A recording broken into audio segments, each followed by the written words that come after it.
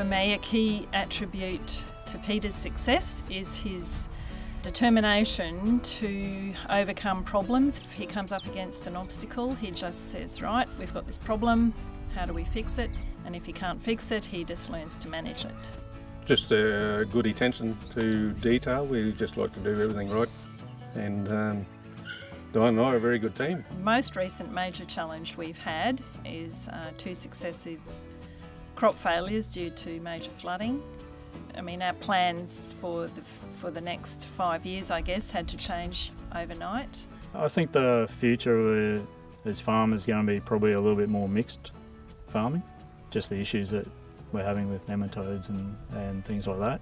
What's happened with the nematodes, we've had to adapt and look at our efficiencies and look at the whole management of all those things. I have a, a passion for farming, particularly um, growing cotton, grown up with it, been with it all my life, and uh, still have a major passion for it. I just love it.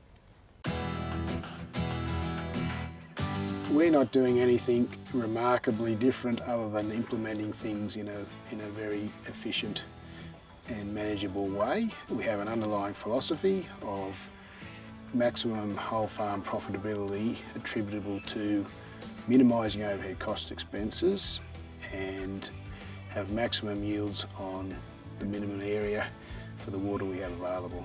McIntyre Downs is a, it's an outstanding farm in, within the district and, and within the cotton industry, which can mainly be attributed to the on-farm staff who do an excellent job, great attention to detail and, and execution in what they do.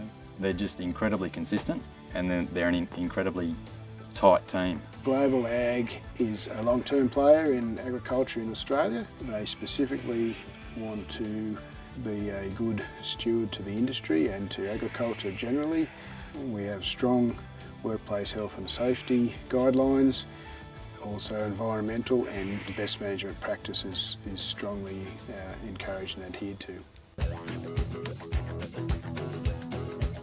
I think our level of intensity is pretty unique. We have about a thousand hectares of cropping country and we try to crop a thousand hectares per year of crops, Uh, which is pretty intense and a high proportion of that is cotton, so that's pretty unique.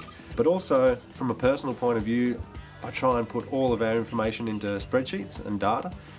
It really helps me to get my head around you know what the decisions we're making and how they're impacting our profitability and there's a lot of emotion involved with farming and get rain at the wrong time or you get really great yields and it's sometimes difficult to put down you know what what's helped us or what's caused that and uh, so by having all the, the numbers in a spreadsheet I can go back and really think about it in a logical rational way and make decisions based on data and information rather than on the emotion. So I'm just addicted to making spreadsheets. If I've got a decision I have to make or I'm trying to, um, to assess something, I, I, put a spreadsheet together and you can see everything very clearly and quickly and um, that's just my, one of my favourite things to do.